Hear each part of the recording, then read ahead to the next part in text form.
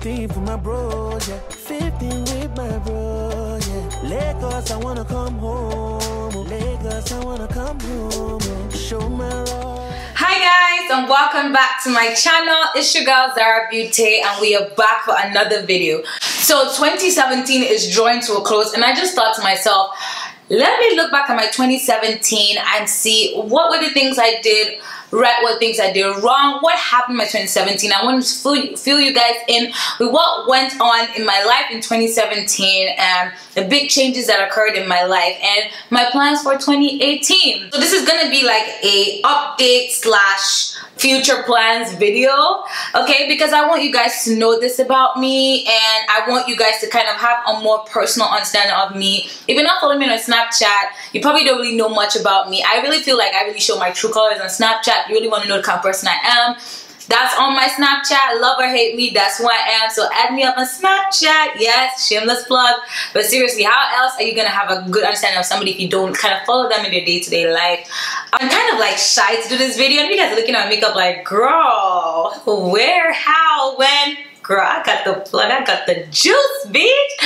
Just let me know in the comment section if you guys want me to do a makeup tutorial on this look. I told my Snapchat they want me to show, if they want me to show them how I cut and chisel my cheeks because I just learned a new technique. Lord Jesus, like I can see the difference in my makeup, like seriously. But anyway, straight to the video. Okay, so 2017. Hmm, I wish I did this update video in 2016 like ending because this was 2016 was a wild year for me. Like it was wild. It was crazy. Like so much went on in 2016 so I came into 2016 with very few friends. I mean very few friends. I mean I can count them on one hand. I came into 2017 with very few friends um, and a boyfriend. And I left 2017 with more friends and no boyfriend So yes, y'all, I'm single for now. For now, the status might change at any time. So I'm happily single, like happy single. Um, I came into 2017 um, in a very toxic relationship. Um, I was trying to get out. Like this was the real get out, and it was emotionally abusive. Nope, it wasn't physically abusive. Uh, he, I died. You come and do physical abuse with me be say I will kill you and kill you finish. But it was not physically abusive. Um, it was emotionally abusive and it was like a repeating cycle over and over again and it was a very long-term relationship over three years um, this was like three three quarters of my university education i was with this one person and we did everything together like we literally were like married basically and but it wasn't happy. Like i wasn't happy. I didn't have a connection with this person but because of the time we'd been together you know we thought that this is it. Like we were each other's last bus stop and this was it. And like we're gonna get married and blah blah blah. But in my heart i knew i didn't really want to marry this person because i didn't really know him that well. It was just a very very long stoves it was just long and it was just an never ending cycle and i just needed to get out. So in the first quarter of the year I was in a relationship and then come April, I cut it off, cut off all ties and I was single. And the second quarter of the year, your girl was a baby girl, I was living the baby girl lifestyle. I did not want to date, okay? Like, Three years, boo? No, mm, no. I'm not one of those like what they call it. They call these people that are chronic relationship people. They they have to go from one relationship. No. Before this relationship, I didn't know. I, I didn't think I could have a relationship for more than a month. I'm serious. I, like that was my like. I didn't believe that I could be in a relationship for that long because I used to get bored of people and like I just like to be dynamic. Like you know, so I was not trying to have a relationship. Like, no, I was just living a baby girl lifestyle. Um, and I was meeting people and stuff. And 2017 was a year where a lot of the stuff I thought about people, a lot of the ignorant stuff I thought about people, like I learned stuff in 2017. Um, I started dating out of my nationality, out of my race and I learned so much about other people, other cultures, other like experiences. It really, really changed and opened my eyes. Like I can't even explain to you guys. Coming to Canada, we had this misinformed, really ignorant opinion about people of other cultures and people of other races. Um, but this year, I was able to see that that's such a fucking bullshit lie. Um, you know, people are different, and I used to think that only a certain type of people did certain type of things, but that's not true. Like behaviors are common to everyone. I know it's a no-brainer, but trust me, like living in a bubble and a shell, like nearly all my life, I didn't know any better. So I learned so much about people. Okay, I'm sure you guys are like, Zara, I just, yeah, yeah, just busting of the bush. What did you learn? Who did you date? Well, I started dating white guys. Okay, so, uh, you know, remember I came into 2017 and the first, one of the first videos I made was my parents don't want me to marry a white guy.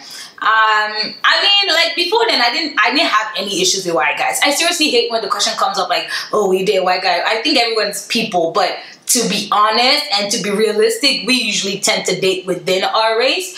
Um, and there's nothing wrong with that. Black love, white love, Asian love, whatever, like nothing wrong with that. But I never really saw myself dating outside of my race because I, I literally thought that they weren't really interested in me. I'm, I know, I know, guys. See, do not blame me. Don't be like, what the fuck, this girl, are you serious? No. I honestly didn't think that white guys had interest in me. The same way they might think that, you know, a lot of white guys think maybe black girls don't like them. Okay, so I didn't know any better. Once I started dating, it seemed like that was, I was like, what the fuck? Like, I was like, y'all like black girls? Like, I swear I didn't know. Like, I know you guys were like kind of ignoramus. I just didn't think that, you know, that could happen. And I had a crush on this one person in school and see, when I have crushes, I don't act. I don't care what anybody tells me. I don't act on them because I need to be sure it's for real and it's not a passing feeling. So I had a crush on this one guy, and um, I didn't I didn't do nothing about it. I was dropping hints, dropping hints, but I didn't come out and be like, "Oh, yo, go out with me," blah blah blah. But then a couple months down the line, man hit me up and was like, I had a crush on you. And I was like, bitch, what? but, and he was actually getting my hints, but he was in relationship back then. So, yeah, that happened. Like, and it was, he was white. Okay. So, like, it, like, let me not lie to you. Like, 90% of everyone else that I saw after my relationship were all white like I I and they they weren't just like the random they were like the fucking gorgeous white guys so I was like what? Like I it was a huge shock. It was a huge eye opener for me because I didn't know a lot of there's a huge like community I would say community.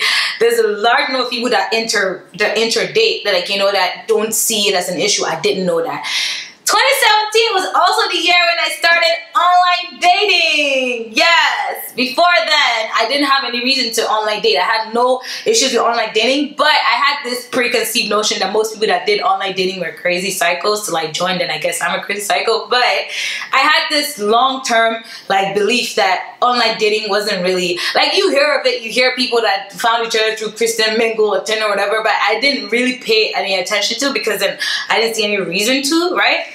Um, then this year, I started online dating because like I wanted to broaden my horizons. Online dating gives you access to people you would never have met. Your paths would never have crossed. Like where would you meet this kind of person? Like where? Like so that's why I love about online dating. It expands your options. You don't have to be within the same circle. Like you know, like and that was the thing. I did not want to date anyone within my circle. I just I did not want to date anyone around. Nothing like that. I just did not I was not interested in the whole Nigerian circle, everything. I did not want to do that. So I knew that the only way that I could branch out was to go through online dating. And girl that was a whole different experience bitch.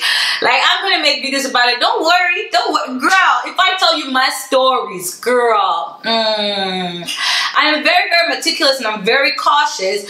But even the most cautious people we got them crazy stories bro like yeah so i started online dating in 2017 as well. So that's one thing i did I met new amazing friends in 2017. I met amazing people in 2017. Friends that I hope are going to be friends for a long time. And I reconnected my friendships with a lot of people as well.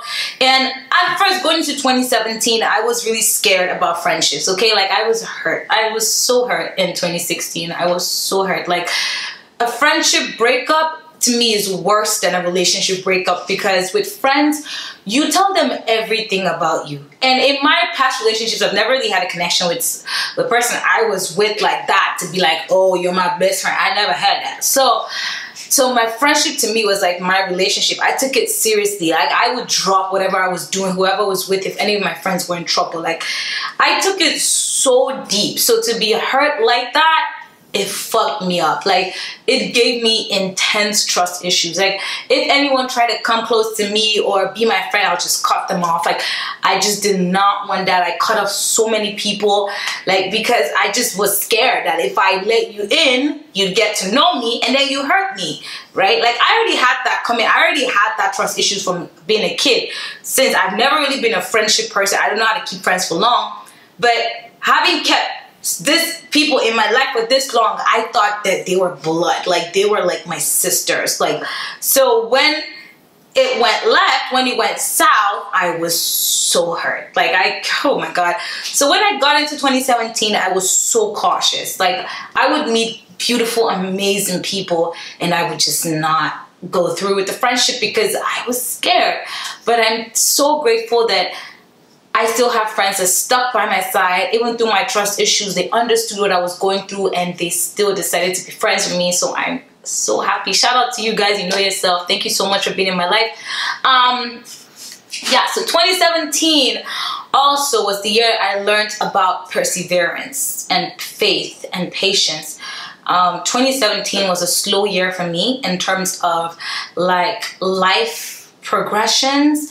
Um, I kind of envisioned a lot of stuff going on for myself in 2017 it was kind of slowed down because I was finishing school and I was doing a lot of stuff. And 2017 was a year of temptations. Like, I don't mean like those kind of temptations. Like, it was a year that tempted me, that tested me, tested the strength of my faith, it tested the strength of my perseverance because I went through some shit that I did not believe I could go through. I, I was at a point in my life where I had help from nowhere. I couldn't get help from anywhere. Like I was like at this flat plane in my life. And every time, God is so good, Jesus Christ. Every time I was at that rock bottom, God always came through. Like I can't explain to you how beautiful, how merciful God is.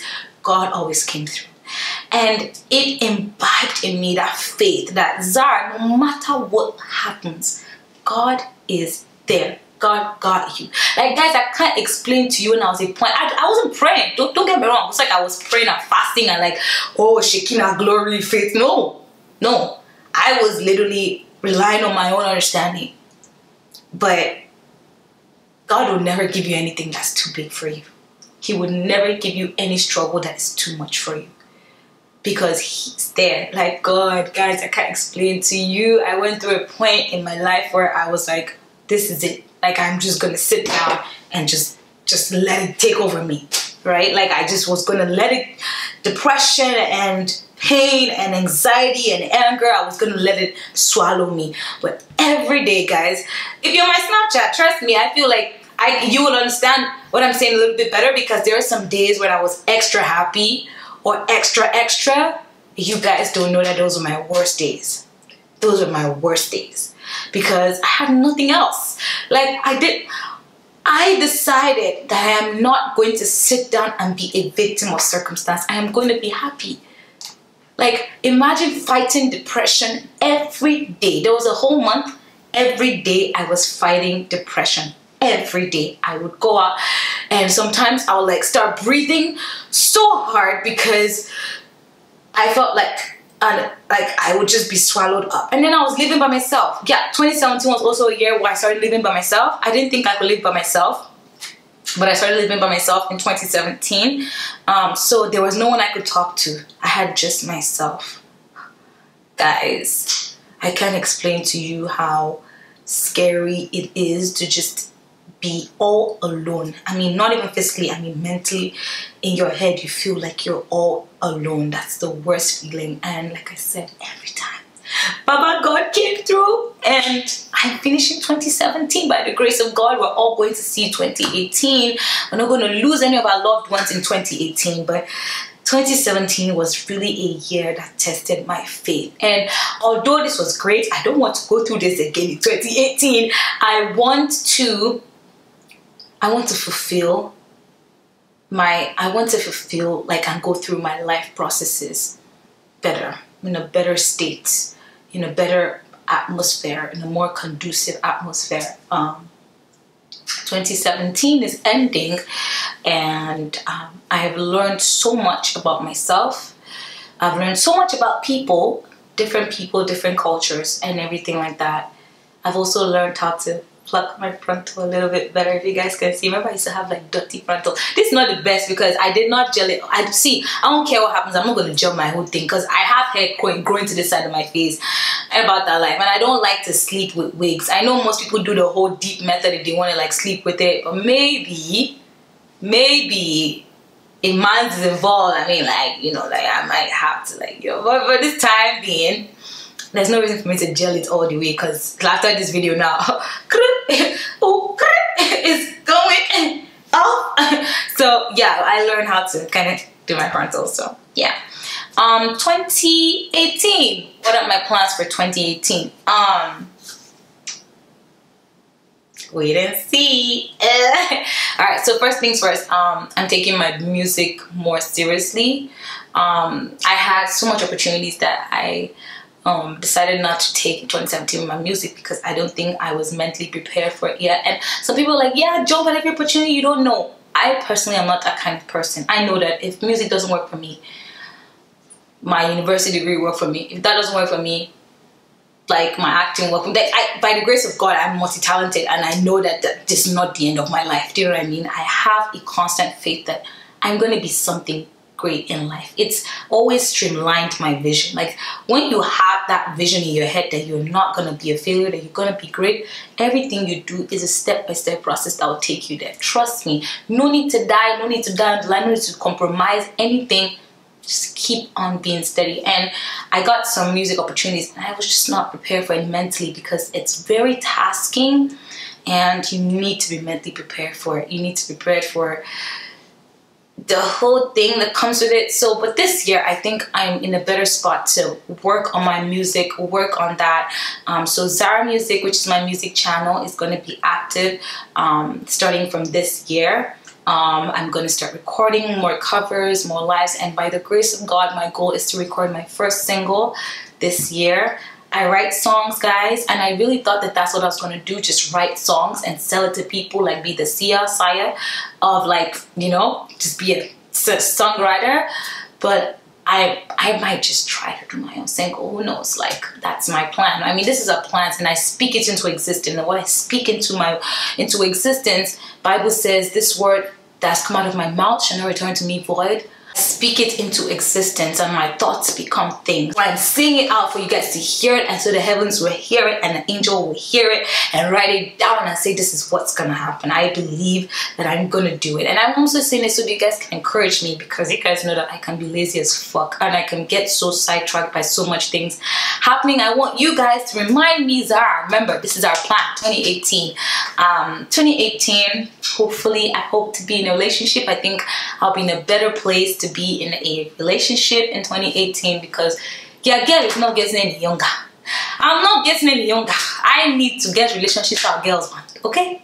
Um, and that in 2018, um, I hope to um, you know, establish my friendships more and be a better friend, a better confidant. I think I'm okay at this point, but I feel like I can be better. And 2018, I want to be a better person. Um, in general. I've grown so much and I think people forget that whether or not you're on YouTube or whatever, you're a person and you're growing, you're going through life processes every day. Things change, people change, opinions change. That's why when people come to my channel and they start saying shit, I'm like, come on, I don't blame them because it is what it is. It's in the internet. Like I, I don't hold grudges people. I don't none of that. It's not necessary. And when people come and say, oh, she's like that, and then the next year or the next couple months, oh, she's not like that anymore. It's just people change, people grow, right? And I hope to be a better person every day by day. I hope to learn things that will make me be a better person, a kinder person, a more giving person. 2018, I want to pay more in tithes. Trust me, giving, oh my God every time I give my tithe, offering, whatever, guys, I do not know what power in the universe, if you don't believe in God, but I believe it's God, but I don't know what power, I always get it back twice. I'm telling you. Every time I give my tithe, every time I give my offerings, I cannot explain to you guys the magic. Within that month, I'm blessed with maybe an opportunity, I get a raise, or like this brand deal I've been waiting for just comes through. I'm telling you guys every time. every time I don't pay my tithe, I don't get anything much. I, I maybe just the usual thing. I'm even losing. Trust me, guys. I don't know how. I believe in the power of tithing, a scientific approach, not even religious approach. You just give and it comes back to you. That's what I want to do. So I want to do more tithing, give my offerings in church, help out more, volunteer my time more. Um, and I also want to do more giveaways on my channel. I started my first giveaway last month and I feel like I shouldn't have given away money because I guess money is a little bit sensitive. I ended up giving it away to someone that really needed it, okay, um, in Nigeria because the exchange rate was better. I guess like most of my followers in America and States and $50 was not much, um, but that was what I had at that point. So I still decided to give. Um, but by the grace of God, I hope God will bless me enough so that I can be a huger blessing to people. I hope to give away like way more stuff and more quality stuff and stuff in this 2018 i hope to be a blessing to others. That's just my goal. I want to be a blessing to other people. 2018 i might move to the states okay? I might move to the states. It's a might. It's a might. It's a might. Okay guys? Calm down. Calm down. I might move to the states in 2018 hopefully atlanta or la the um for work and to pursue my career as an actress or musician. If you guys don't know, I am actually a semi-professional actress. Um, I haven't done any professional gigs yet, but I've been training.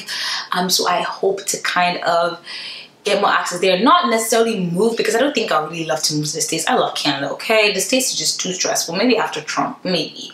But I would just like to work in the States. Yeah, I think it's work. I like to work in the States come 2018 so that's also one of my goals in um, 2018 but yeah guys i guess that's it. Like i don't know.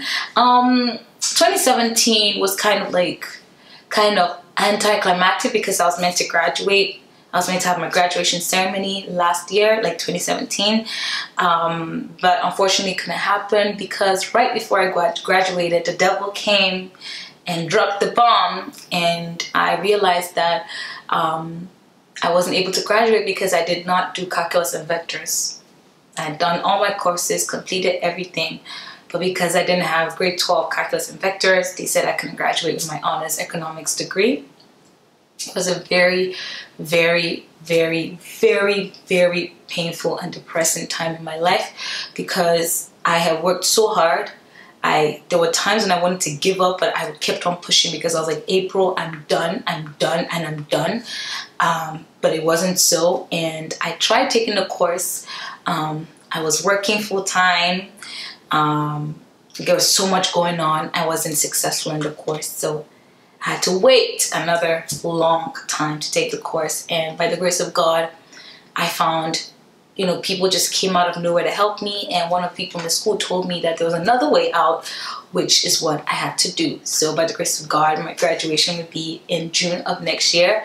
Um, so for all of you that were asking me, Zara, we didn't see any graduation pictures. I didn't want to talk about this because it was very, very heartbreaking for me.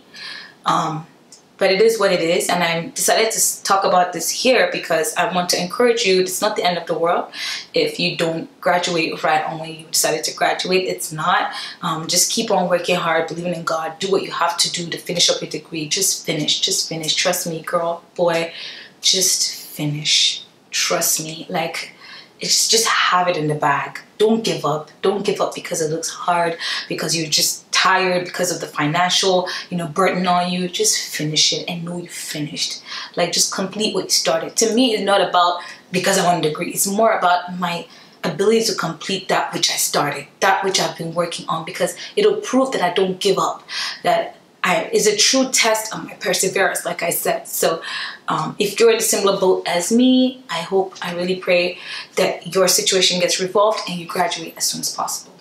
But yeah, guys, that is my 2017 in retrospect. I hope you guys like this kind of videos. Let me know if you guys want to want me to do this kind of videos more often, like live updates and stuff. Although I'm a very personal person, at the end of the day, I feel like um, if there's anything in my story that can help people, I would rather share it than keep it to myself. I want to be a testimony. I want to help people out. That's just what I want to do in my life. Just be a blessing. And um, if you, if this kind of stories kind of help you out to, you know, have faith in yourself or, you know, kind of motivate you, then please by all means let me know and I'll do more of this kind of videos. Anyway guys, thank you guys so much for tuning in with me today. Happy New Year. I hope you had a wonderful Christmas. Um, yeah, and I will see you in 2018. Or if it's 2018 already, have a good year.